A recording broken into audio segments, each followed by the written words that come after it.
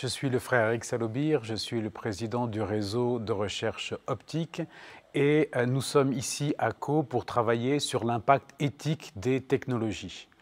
Et en fait, euh, la réflexion pour moi commençait par euh, une citation de la déclaration d'indépendance d'Internet en 1996 qui disait ⁇ Nous formons notre propre contrat social ⁇ Alors bien entendu, c'est complètement illusoire, mais l'intérêt de cette phrase, c'est qu'elle montre que le débat n'est pas un débat sur la technologie. Les gens disent ⁇ Oui, la grande question, c'est la blockchain, c'est l'intelligence artificielle, ce sont les robots ⁇ Pas du tout.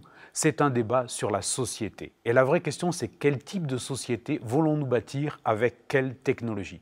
Parce que finalement, la technologie est une production de la société aux deux sens du génitif. C'est-à-dire que d'un côté, elle est produite par la société et la technologie comporte en elle toutes les caractéristiques de notre société. Euh, ça nous permet de voir que le bien et le mal ne viennent pas de la technologie, mais du cœur de l'homme. Donc la question, c'est qu'est-ce que nous mettons dans ces technologies? Alors bien entendu, en retour, leur utilisation, et c'est la, seconde façon euh, de, pour ces technologies d'être des productions de la société, c'est qu'elles produisent une société dans la façon dont nous les utilisons, parce qu'elles nous transforment personnellement et collectivement. La façon dont on s'informe, la façon dont on travaille, la façon dont on vote, dont on choisit, dont on voyage, tout ça va transformer notre vivre ensemble et va constituer un projet de société.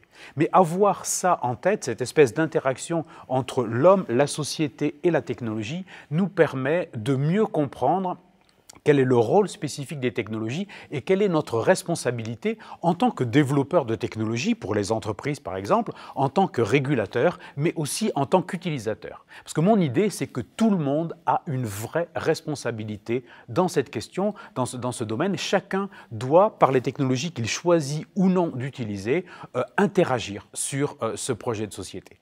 Et là, on peut dire que, euh, en fait, ça nous permet de prendre conscience d'abord que la technologie n'est pas neutre et qu'il va falloir qu'on fasse avec cette non-neutralité. On a longtemps essayé de se dire non, la technologie, c'est neutre, après tout dépend de ce qu'on veut en faire. Mais la façon dont elle est bâtie comporte forcément déjà une intentionnalité, comporte des biais, comporte une forme d'orientation. Et la question, c'est comment est-ce qu'on prend ça en compte, euh, sachant qu'en en fait, on a du mal à gérer cette non-neutralité. Parce que c'était plus facile, par exemple, pour des plateformes sur Internet de dire nous, on n'est pas responsable du contenu qu'on bâtit ou qui, est diffusé, le, contenu généré par les utilisateurs. Bon, finalement, euh, c'est eux qui le gèrent. Euh, nous, on ne fait que mettre euh, à disposition des tuyaux, des plateformes. En fait, on voit que ce n'est pas vrai, que ce n'est pas comme ça que ça fonctionne. Et la grosse difficulté, c'est qu'en fait, ils sont obligés, s'ils veulent faire du tri entre les vraies informations et les fake news, de définir ce qu'est une fake news. Ça veut dire quels sont les critères qui disent que quelque chose est vrai ou pas, est acceptable ou pas. Et en fait, on se rend compte que la façon dont on fait l'éthique des technologies est en train de changer.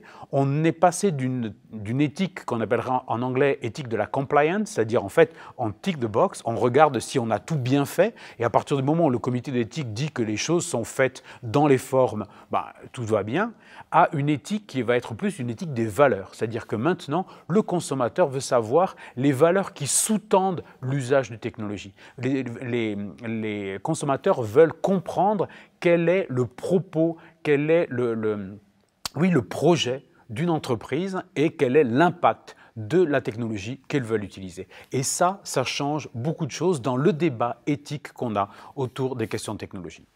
Pour travailler sur les questions d'éthique et de technologie, je voyage beaucoup et je vais dans différents lieux, différents formats euh, de rencontres. Euh, mais je trouve qu'ici, à Co, il y a quelque chose de particulier qui, je pense, est lié à l'histoire du lieu, qui est un lieu de réconciliation entre pays européens après la guerre, qui est un lieu de rencontre assez confidentiel entre des partenaires qui ont besoin de se retrouver au calme.